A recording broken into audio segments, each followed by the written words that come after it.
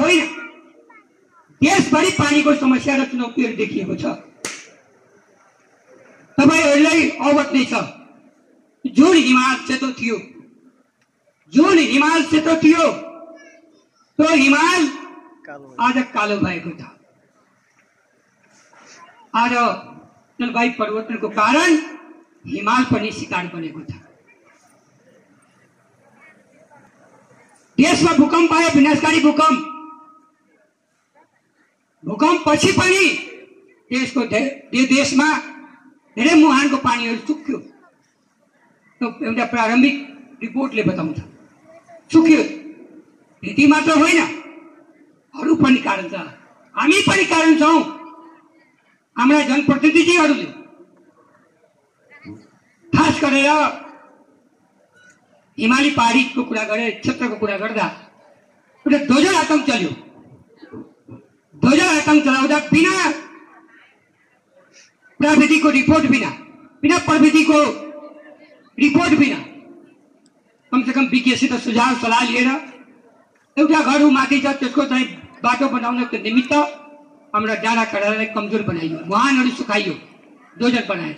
त्यसको लागि पनि अहिले पाहाडमा पनि धेरै खानेपानीको समस्याहरू देखिएको। त्यसै कारणले हामी देशैभरि एउटा अभियानको तहत।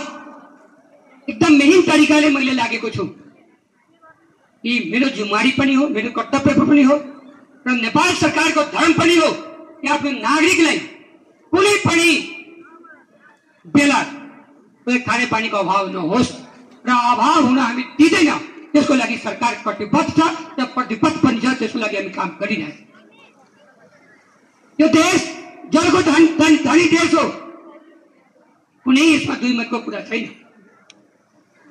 अनुसन्धानले पनि देखाउँछ। रिसर्चकर्ताले पनि भन्छ जलको धनी देश हो। तर यो यस्तो देश हो कि पानीको लागि नागरिकहरूले आन्दोलन गर्छ। पानी देऊ पानी देऊ पानी देऊ। आन्दोलन गर्छ। म भर्खर मन्त्री बनेको थिएँ। भर्खर मन्त्री बन्दा काठमाडौँ उपत्यकाका एउटा समूह आयो त्यसमा प्रदेश सांसद पनि सँगै आउनुभयो उहाँहरू के भन्नुहुन्छ भने हामी पानी ल्याउनको लागि मञ्च बनाएका छौँ आन्दोलन गरिरहेका छौँ सङ्घर्ष समिति बनाएका छौँ म त अचम्म लागे। त्यो जुन देशमा जलको धनी देश त्यो देशमा पानी देऊ सरकार पानी देऊ सरकार पानी देऊ सरकार पानी देऊ सरकार. भने प्रदेश सांसदको नेतृत्वमा एउटा सङ्घर्ष समिति मन्त्रीको आउँछ म एकछिन सोच्न बाध्य भएँ निश्चित रूपमा त्यो बेला काठमाडौँ उपत्यकावासीलाई मेलम्चीको पानी जुन आएको थियो बर्सातको बेलामा पानी बन्द गरिन्छ. किनकि मुहानमा दुई हजार सत्र सालमा आएको बाढी पहिरोले मुहानमा जुन क्षति गर्यो क्षतिको कारण बर्सातको बेलामा त्यो मुहान बन्द गरिन्छ। र गत वर्ष त्योभन्दा अगाडि माघमा मात्र त्यो पानी खोलिएको थियो मेलम्चीको मुहान मात्र माघमा खोलेको थियो माघमा। तर मैले यसपालि दसैँको अगाडि काठमाडौँ उपत्यकावासीलाई शुद्ध खानेपानी दिनको निमित्त मिलम्चीको पानी खोल्दैछु। त्यो तपाईँको माध्यमबाट त्यहाँको मिडियम माध्यमबाट त्यहाँ उपत्यकावासीले पनि जानकारी गराउन चाहन्छु किनकि देशको मन्त्री भएको नाता। दसैँ अगाडि त्यहाँ मिलम्चीको पानी खोल्छु मैले। त्यसको लागि हाम्रा सबै टिम तयार भइसकेको छ मन्त्रालयका। र मेलम्चीका इडी लगायत सबै तयारी पोजिसनमा हामी छौँ। केही प्राविधिक कठिनाइहरू छन् त्यहाँ त्यहाँ एउटा तपाईँहरू मिडियामा सुन्नुभयो होला लोकल भेन्डर त्यहाँ एउटा सिएमसीले ठेक्का लिएको थियो विदेशी ठेक्दारले त्यहाँ लोकल मान्छेहरूको पैसा उधारो लिएर भागिदियो भागी गयो अब कानुनमा हामीले दिन सक्दैनौँ किनकि उसले लिएछ उस उ- उसले उधारो लिएछ कोही साग दिएछ कोही चामल दिएछ कोही तेल दिएछ कोही गिटी दिएछ कोही बालुवा दिएछ बेचारा ऊ पनि पीडित छन्। उसले भन्छ कि पानी खोल्न आउनुहुन्छ नि अब खुकुरीले हानिदिन्छु मेरो साथीहरू भागेर आउँछ दौडेर। भन्छ रगतको खोलो बगाइदिन्छु। अब भयो अब। एकातिर कर्मान उपत्यकावासीले भन्छ अहिले दसैँको अगाडि पानी दिएन भने मन्त्री जानेछु है ऊ थर्काउँछ। अब उता भन्छ पानी खोलिस पनि जान्छु है त्यसले रगतको खोलो बगाइदिन्छु। कस्तो समस्या भयो त हामीले बताउनु। यसको बावजुद पनि त्यो नागरिकलाई पनि हामीले सम्झाउँदै बुझाउँदै देशको कानुन सम्झाउँदै र पानी खोल्नु छ। त्यो सब समस्याको बावजुद पनि म म पहिला पनि भने कि मैले मेरो स्वभाव अलि लड्ने र अड्ने दुइटै भएको हुनाले एकदम नागरिकको लागि लड्नु पनि पर्छ अड्नु पनि पर्छ भन्ने मेरो स्वभाव रहेको छ र त्यसको लागि हामी अगाडि बढिरहेको छौँ। अहिले निश्चित रूपमा दीर्घकालीन रूपमा तराई मधेसको समस्या पानीको कसरी समाधान गर्ने त कुरा यहाँ छ। तत्कालको लागि पनि हामी तयारी अवस्थामा छौँ। म पहिला पनि भने बजेट पछि म आएको हुँ। बजेटभन्दा पहिला फेरि देशमा कस्तो स्थिर सरकार हुँदैन। दिनभरि तपाईँ सुन्नुहुन्छ तपाईँ पक्कै होला म स्वास्थ्य मन्त्री थिएँ। अब यहाँ सरकार छिनछिनमा चेन्ज हुने तपाईँ अब स्थिर सरकार भएको अब दुईवटा ठुला दल र दुईवटा साना दल मिलेर चार दलको सर सरकार बनेछ र करिब करिब दुई तिहारको सरकार दुई तिहाईको सरकार बनेको छ। अब सरकार हिलडोल हुँदैन जस्तो महसुस छ। तर मैले जो बजेट बनाउँदा स्वास्थ्यमा थिएँ। तर बजेट बनाइसकेपछि खानेपानीमा आइहाल्यो अब त्यसको क्लास लिएँ दुई महिना। त्यो क्लास अहिले सकेको छैन। र अर्को क्लास लिन खानेपानीमा आएको अब अब मैले बुझिरहेको छु तर योभन्दा पहिलामा खानेपानीमा भएको भए सायद प्रि प्लानको लागि मेरो आफ्नो दिमागले भिजनले यहाँ उपभोक्ताको कुरा सुनेर यस्ता साथीहरूको कुरा सुनेर सायद मैले बजेट बनाएको हुन्थेँ तर बजेट बन्यो। बजेट त मैले बनाएको छैन। हाम्रा पूर्व मन्त्री राय राईजीले बनाउनु भयो बजेट तर पनि कार्तिकमा रकमान्तर हुन्छ बिस प्रतिशत मन्त्रीको अधिकार हुन्छ। त्यो बिस प्रतिशत ठाउँ ठाउँमा मैले देशभरि जहाँ जति आवश्यक छ त्यहाँ हामीले बजेट दिन सक्छौँ। त्यस कारण अब तिमीलाई खाने पानी र सरसफाइ उपभोक्ता समितिमा आइपुगेका छौँ। निश्चित रूपमा पक्कै समितिले यसै मन्त्रीले बोलायो होइन। पक्कै केही न केही क्रिया खिएर जान्छ। त्यो पनि मन्त्री छिमेकी मन्त्री रहु न रहु छिमेकी त रहन्छ जीवनभरि। सिमरा एयरपोर्टबाट जाने नै हो। त उपभोक्ता समिति त मलाई छोड्दैन बाँधेर राख्छ। तपाईँ यो भन्नुभयो त किन गर्नुभयो? त्यसकारण यति साहसी उपभोक्ता समितिलाई त मैले केही न केही गर्नुपर्छ। त्यसकारण म यो यो गर्छु त्यो गर्छु त भन्दैन। तर यति जरुर भन्छु तपाईँहरूले। यसो अध्यक्षजीसित कानफुसी कुरा भयो उपाध्यक्षजीसित पनि एयरपोर्टमा कुराहरू भयो अरू पनि समितिका साथीहरूसित कुरा भयो। अब आउने दिनमा च्यालेन्जिङ त छ। किन च्यालेन्जिङ भने सिमरा यस्तो लोकप्रिय ठाउँ भएछ। कि हरेक ठाउँको मनपर्ने ठाउँ भएछ। पाहाडको पनि मान्छे आउने मधेसको पनि आउँथे होइन? एक किसिमको त यो त हाम्रा यो बिच क्षेत्रको राजधानीको रूपमा परिणत भइरहेछ। र अर्को दिन जुन दिन निजगढ विमानस्थल निर्माण हुन्छ त्यो दिन त स्वर्ग हुन्छ। र त्यसकारण हाम्रो अध्यक्षजीलाई यो समितिको त पहिलेदेखि प्रि प्लान छ कि अहिले हामीले यो मानव कि नौ लाख क्षमता भएका चाहिँ हामीसित छ। तर यो नौ लाख लिटर लिएर पुग्दैन। यसलाई त कमसेकम पन्ध्र लाख पुगाउँ अठार पुगाउँ या तेह्र पुगाउँ बिस पुगाउँ पक्कै भोलिको दिनमा अब जनसङ्ख्या बढ्दै जान्छ। म पहिले पनि भने सिमरा अलिकति यस्तो ठाउँ भएको छ कि जग्गा पनि त्यतिकै महँगो कि सस्तो छ यहाँ। महँगो नै होला जग्गा जग्गा पनि महँगो किनकि सबै मान्छे यहीँ आउने। उद्योगहरू पनि यहाँ।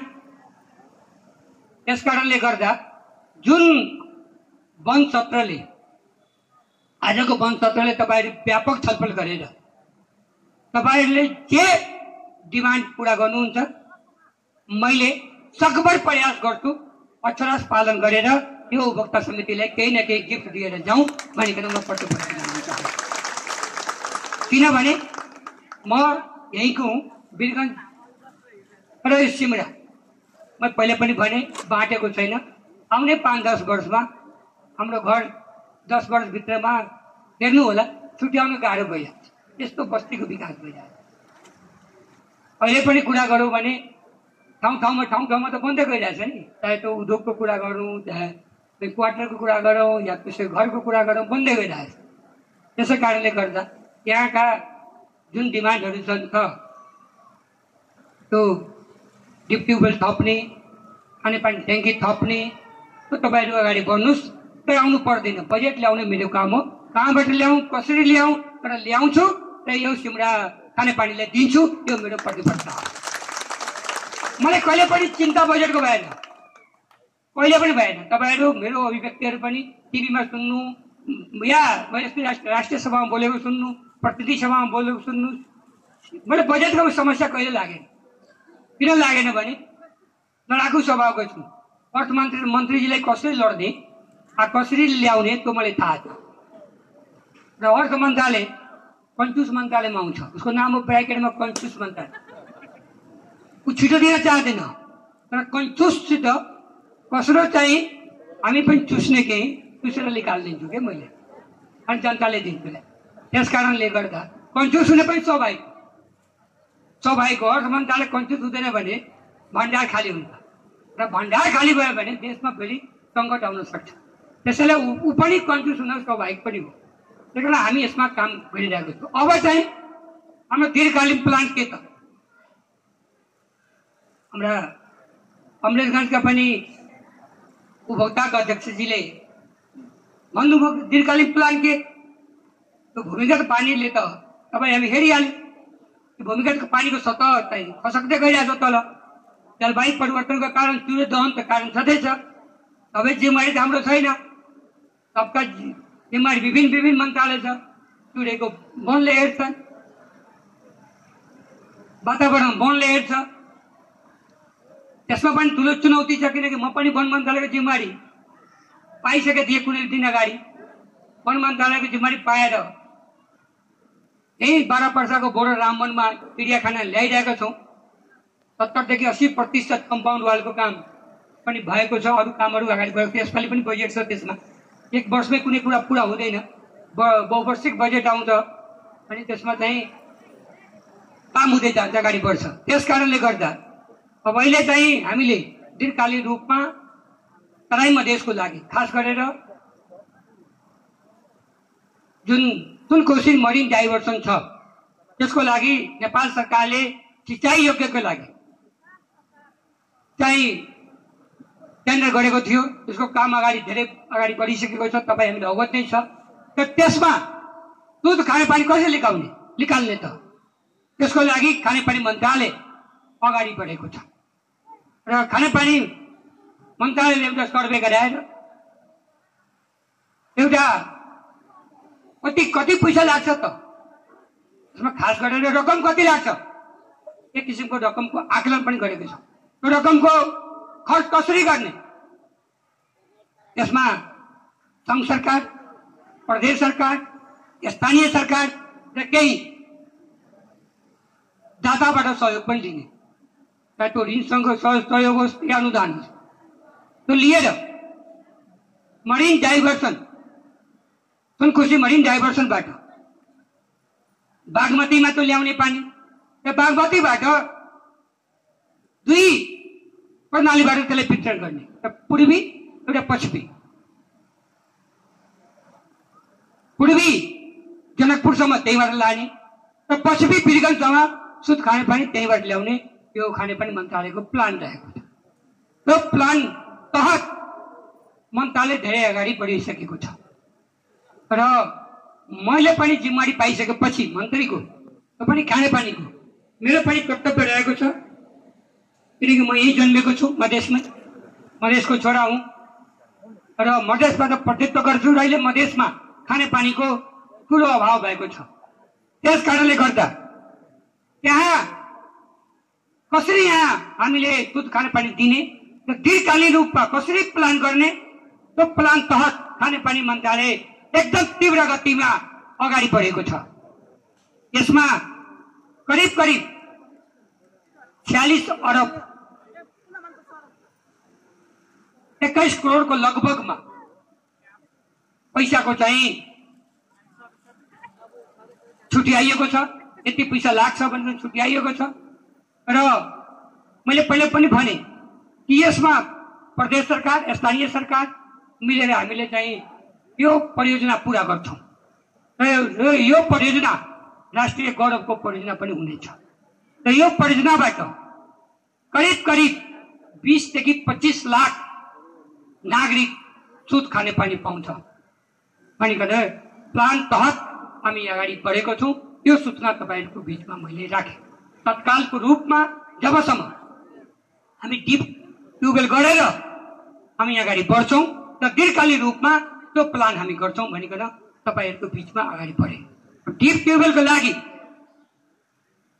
हामीले कार्तिकमा जुन रकमान्तर हुन्छ त्यो कार्तिकको बेलामा हामीले मधेसभरि खास गरेर मधेस र देशका हरेक भागमा जहाँ जहाँ भूमिगत पानी हुन सक्छ जहाँ जहाँ मुहानबाट निकाल्न सक्छौँ जहाँ जहाँ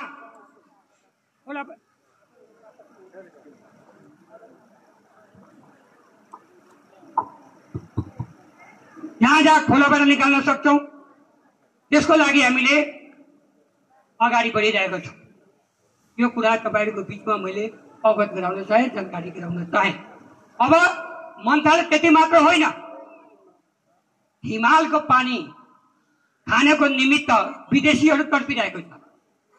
जुन विदेशीहरू हिमाल हेर्नको लागि स्वर्ग जस्तो सुन्दर संसारभन्दा अग्लो र संसारलाई चिनाउने माउन्ट एभरेस्ट सगरमाथाको पानी खानको निमित्त विदेशीहरू तडपिरहेको छ र त्यसको लागि हिजो मात्र मैले मन्त्रालयमा विभिन्न सरकारवाला राखेर एउटा हामीले पानीको समिट गर्नको लागि फ्रेस वाटर समिट गर्नको निमित्त हिजोदेखि एउटा टिम बनाएर मन्त्रालय अगाडि बढेको छ। यो कुराको मैले यहाँ हाम्रा सिमरावासी हाम्रा यहाँका अभिभावक यहाँका हाम्रा बुद्धिजीवी यहाँका राजनैतिक दल यहाँका अगुवा यहाँका नागरिक समाज यहाँका पत्रकार यहाँका महिला दिदी बहिनी अ, र यहाँका सबै हाम्रा अग्रजहरूले मैले जानकारी गराउन चाहन्छु निश्चित रूपमा हिमालको पानी जब हामी विदेशमा बिक्री गर्छौँ त्यसमा नेपाल आर्थिक रूपमा सबल पनि हुन्छ र नेपालको नाम पनि हुन्छ जहिले पनि कुरा गर्छौँ तर सक्दैनौँ। कुरा गर्छौँ सक्दैनौँ। प्लान गर्छौँ सक्दैनौँ। रिसर्चमा हाम्रो कमजोरी हुन्छ। तर यसपालि हिजोदेखि मैले अग्रपन्थीमा अगाडि बढेको छु। हामी एउटा इन्टरनेसनल समिट खानेपानी मन्त्रालय। नेपालका हिमालका पानी माउन्ट एभरेस्टका पानी सगरमाथाका पानी विदेशमा बेच्नको निमित्त इन्टरनेसनल समिट गर्नको निमित्त वाटर विदेशमा लानको निमित्त हामी हिजोबाट गृह कार्य अगाडि बढाएका छौँ। त्यसको लागि निकट भविष्यमै तपाईँहरू सुन्नुहुन्छ कि खानेपानी मन्त्रालय अगाडि बढेको छ। त्यति मात्र होइन एउटा सर्वेले देखाएको छ। तपाईँहरू सब जानकार हुनुहुन्छ यहाँका मिडिया कर्मीहरू हुनुहुन्छ सर्वेले देखाएको छ। कि आउने दिनमा एसिया कन्ट्रीमा भारत र पाकिस्तान भारत र पाकिस्तान पानीसित लड्नुपर्छ। पानीको ठुलो अभाव हुन्छ।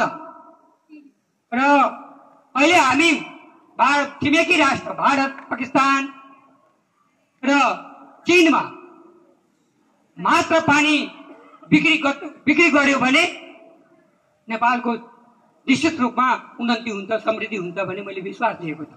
तर समस्या कहीँ न कहीँ हामीभित्र पनि छ। हामी भन्छौँ गर्दैनौँ। भन्नमा अगाडि गर्नमा पछाडि। अब त्यसको लागि मेरो मन्त्रालय मात्र सक्दैन। त्यसको लागि उद्योग वाणिज्य पनि चाहिन्छ त्यो मन्त्रालय पनि अर्थ मन्त्रालयको पनि सहयोग चाहिन्छ। र खानेपानी मन्त्रालय त लिडरसिप लिने नै भयो। अहिले नै एउटा सर्वेले गर्दा अहिले नै खालि भारतको बोर्डरमा जस्तो बङ्गाल हाम्रो बोर्डरमा पर्छ युपी बोर्डरमा पर्छ बिहार बोर्डरमा पर्छ यहाँ मात्र बिक्री गर्यो भने पच्चिसदेखि तिस लाख कार्टुन हामी बिक्री वितरण गर्न सक्- सक्छौँ। त्यति मात्र होइन। तपाईँ रसकौलमा गएर पानी किन्नुहोस् बोतल र बिर्गामा पानी किन्नु बोतल करिब करिब दस रुपियाँ लिटरको फरक पर्दो रहेछ रसकौलमा कि बजार त हामी जान्छौँ तपाईँ त्यहाँ पानी किन्नु त्यही पानी आइसीमा किन्नुहुन्छ र त्यही पानी हामी एनसीमा किन्छौँ नेपालमा यहाँ सस्तो छ त्यहाँ महँगो छ र त्यो पानी त्यहाँ बिक्री भयो भने हाम्रा यहाँ उन्नति पनि हुन्छ यहाँ व्यापारी पनि व्यवसाय पनि ठिक हुन्छ देशलाई पनि ट्याक्स पाउँछ उन्नति हुन्छ तर क्वारेन्टाइनको समस्या र आधुनिक कानुनी समस्याको झन्झटको कारण हामी त्यहाँ पानी वितरण गर्न बिक्री वितरण गर्न सकिरहेको छैन। त्यसको लागि खानेपानी मन्त्रालय हिजोबाट अगाडि बढेको छ। र खानेपानी मन्त्रालय मलाई लाग्छ चाँडै त्यो समस्याको पार गर्छन् र एसिया कन्ट्री लगायत खाडी मुलुकहरूमा नेपालका खास गरेर हिमालका पानी हामी शुद्ध खानेपानी पुर्याउँछ त्यसको लागि पनि मन्त्रालय अगाडि बढेको छ। मेरो जिम्मेवारी पनि हो मेरो कर्तव्य पनि हो मेरो धर्म पनि हो। त्यसकारण आज सिमरा खानेपानी तर सफाइ तथा उपभोक्ता समितिमा हामी पुगेका छौँ। आइ आएका छौँ र यो लगायत देशभरि बयालिस हजार उपभोक्ता समितिहरू छन् र तिनका छाता सङ्गठनका पनि कार्यक्रम थियो अस्ति चितवनमा म आफै गएको थिएँ। त्यो त्यो त्यो कार्यक्रममा अहिले हामीले दुई तिनवटा कुराको तपाईँहरूलाई भनेर म बिदा हुन्छु। एक यो उपभोक्ता समितिले भन्न चाहन्छु कि अब डिजिटल प्रणालीमा हामी जानु पर्यो। जस्तो डिजिटल प्रणालीमा विद्युत गइसकेको छ। विद्युतको पैसा अब हामीले घरबाट तिर्न सक्छौँ। तपाईँको एसएमएस आउँछ यति पैसा उठ्यो। मोबाइलमै मेसेज आउँछ। देशभरि नै हामीले डिजिटल प्रणालीमा जानुपर्छ र अहिले क्युआर कोडबाट हरेक नागरिक घरबाटै पैसा तिर्न चाहन्छ को जान्छ बिल तिर्न अफिसमा कसलाई यतै समय छ। समयको अभाव र चाप छ त्यसको कारणले गर्दा धेरै समस्या पनि छ बिजुलीको बिल के भन्छ खास गरेर खानेपानीको बिल तिर्न बिजुलीमा अब त्यति समस्या छैन नागरिकहरू घरबाट तिरिदिन्छ तर हाम्रा यो खानेपानीमा यो समस्याहरू देखिएको छ। धेरै उप- उपभोक्ता समितिहरूमा खानेपानीको उपभोक्ता समितिहरूमा डिजिटल प्रणालीमा गइसकेको छ तर धेरै बाँकी नै छ। त्यसकारण हामी देशभरि अभियानको रूपमा डिजिटल प्रणालीमा हामीले जानुपर्छ। र हरेक उपभोक्ता समितिमा हरेक उपभोक्ता समिति जति छ बयालिस हजार त्यो मध्ये धेरै उपभोक्ता समितिमा कोलोडिनल कोलोडिनल लगाइसकेका छन्? शुद्ध खानेपानी दिनको निमित्त कोलोडिनल चाहिन्छ? त्यो लगाइसकेका छन् र धेरै उपभोक्ता समिति बाँकी नै छ। अधिकतम बाँकी नै छ भनौँ न अधिकतम बाँकी छ। त्यसको लागि खानेपानी मन्त्रालय अगाडि बढेको छ। र त्यसलाई चरणबद्ध तरिकाले वर्ष पछि एउटा प्लान बनाएर एक वर्षमा कति उपभोक्तालाई अर्को वर्षमा कति उपभोक्तालाई हामीले चाहिँ कोलोडिनल लगाएर शुद्ध खानेपानी दिने मन्त्रालयको चाहिँ प्लान रहेको छ। त्यही अनुसार मन्त्रालय अगाडि बढेको छ। यो कुरा मैले आज यो सिमरा खानेपानी उपभोक्ता समितिमा आउँदा मैले जानकारी गर्न कोसिस गरेँ। त्यस कारणले गर्दा अर्को कुरा एउटा अझ समस्या छ। त्यो मलाई लाग्छ कि म सफल हुन्छु। त्यो पनि जटिल छ। चुनौती छ। र तपाईँहरूको लागि एकदम त्यो अपरिहार्य छ। के हो भने जुन हामीले बिजुलीका बिल तिरिरहेका छौँ खानेपानीमा अब यो ओभरहेड ट्याङ्कीमा पानी चढाउँदा बिजुलीको बिल जुन तिरिरहेको छ त्यो महँगो छ त्यसकारण कमसे कम फ्री हुन त गाह्रो होला। अनि माग त फ्रीकै छ तर त्यो गाह्रो छ चुनौती पनि छ। तर मेरो प्रयास छ कि कमसे कम मैले लडेर अडेर र यो क्याबिनेट डिसिसन गराएर सामान्य प्रधानमन्त्रीजीले सबै कुरा सबै कुरा अवगत गराएर कमसे कम लघु सिँचाइको जुन बिल छ दुई रुपियाँ बिस पैसा या कति पैसा त्यस्तो दुई रुपियाँ चान्चुन छ। त्यति पैसा अगाडि देशैभरिका खानेपानीमा हामीले गऱ्यौँ भने यो चाहिँ बिल जुन जनताको चाहिँ बढी बिल आइरहेको छ त्यसलाई कम गर्न सकिन्छ। र हामीले अझ पनि घटाउन सकिन्छ। त्यसमा हामीले काम गर्नुपर्छ। किनकि बिजुलीको बिल धेरै महँगो चर्को पनि छ त्यसैले गर्दा हामी यो विषयमा लाग्छौँ। अब फेरि हामी सिमरा खानेपानी तथा सरसफाइ उपभोक्ता समितिको पुनः मैले आज बाइसौँ साधारण सभा गर्दैछ। त्यसको पूर्ण सफलताको कामना गर्दै र आउने दिनमा यो खानेपानी उपभोक्ता समितिले जुनसुकै पनि सहयोग मसित माग्छ त्यो सिमरावासीको लागि जितपुर सिमरा नगरवासीको लागि यहाँको यहाँको नागरिकको लागि यहाँको जनताको लागि खानेपानी मन्त्रालय तयार छ। यही प्रतिबद्धताको साथ म बिदा हुन्छु। धन्यवाद। नमस्कार। धेरै धेरै धन्यवाद माननीय मन्त्रीज्यूलाई।